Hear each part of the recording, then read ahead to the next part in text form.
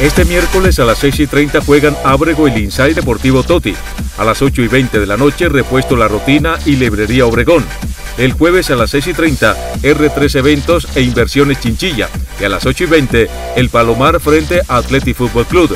Y el viernes cierra la fecha con los partidos entre Comuneros y Villa Paraíso a las 6 y 30 y Sebastopol con los pibes a las 8 y 20. Descansa Convención.